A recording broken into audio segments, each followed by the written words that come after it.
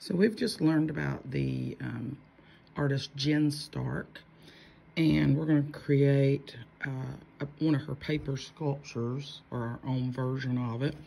And so we're going to start out, I want you to pick out several colors. I'm going to try to bring as many colors as I can.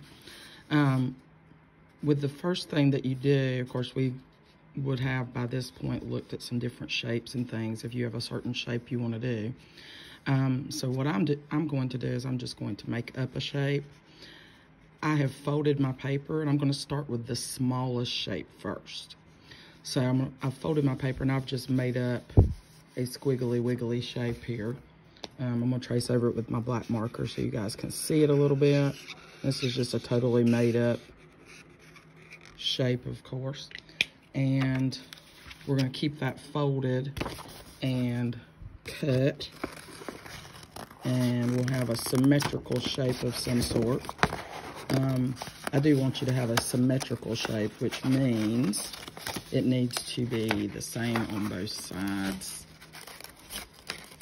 And once you have that first shape cut out, the rest is going to be a lot of repetition, okay? So we're gonna open this. Kind of has a butterfly look to it. Um, so I'm gonna take this and I'm gonna decide what color comes next. I think I'm gonna do my yellow. And as I decide what my next color is going to be, and I like to use the very corner of the paper just to make sure I'm using every uh, bit of the paper. So I'm gonna put it down here near the corner, making sure I have enough room around it. And I'm gonna trace around that shape as close as I can to recreate it. It won't be exact. As long as it's close, it'll still work for what we want to do, okay? So we're just gonna repeat that process until we have enough shapes to create our sculpture. And I might give you a number um, of shapes that you might want to try to get to once we have completed this whole process. So I'm gonna go through and make the rest of my shapes and let you guys watch um, as soon as I get done cutting the second one.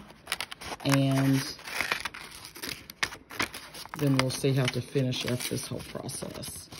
And again, you can do a specific shape like a flame or a heart, or you can make up a shape like I've done.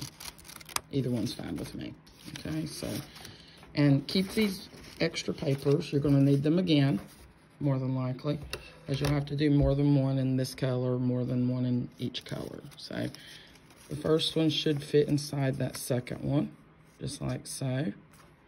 And so we're gonna go on and do the rest.